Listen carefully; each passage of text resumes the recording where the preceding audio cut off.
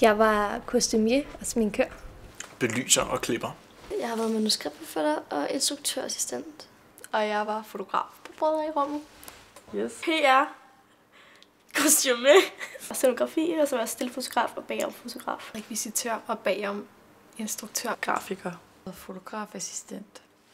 Og klapper. Skripter og klipper. Det var hundekoldt at optage de der scener, der var ude på bakken. Midt om natten klokken to. Det var lidt hårdt. Og det var røvkoldt. Mine fødder, de dampede bare derudad. Jamen, jeg havde så koldt her, så jeg blev nødt til at gå ned og lige hurtigt varme mine fødder, og så tog jeg op af den der ovn, og så kom der damp. Der røg damp, ja. De var så kolde, mine tær. Det er nok vognen, vi skulle bygge. Losten, den skulle op på bakken, og så blæste den sådan væk. Og som klipper, der er det bare hårdt. Claus. Han er en sjov fætter. Noget klogt Claus har sagt. Der var en eller anden sætning, jeg skulle huske. Eller noget med formater. Men jeg kan ikke huske den. Øh, klogest, han har sagt.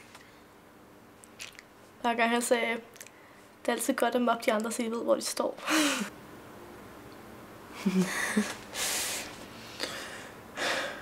Løb. Bare løb. Jeg oplevede engang, at han sådan talte øh, volapyk til mig. Det bedste ved Station Next har været, at det var et sted, hvor man kunne få lov at dyrke det, man godt kan lide. Sammen med jer andre.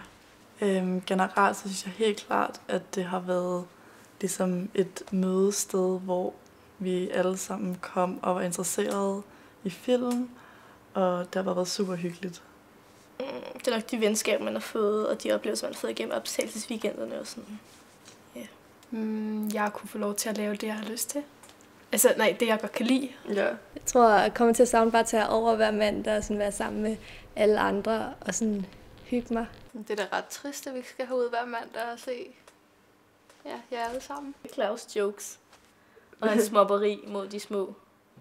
Nu man har gået så lang tid, kan det være lidt svært at finde ud af, hvad man så skal lave.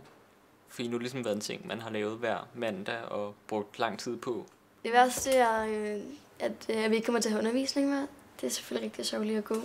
Og at vi ikke skal se de her mennesker, som vi har været sammen med i tre år med.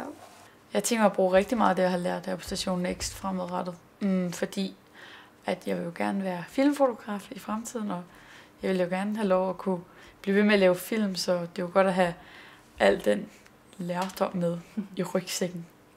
Øhm, jeg kunne godt tænke mig at arbejde med noget inden for film.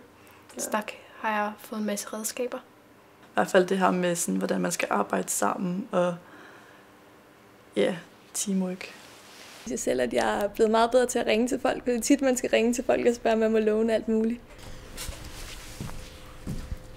Ja. Tusind tak for tre fantastiske år på Next.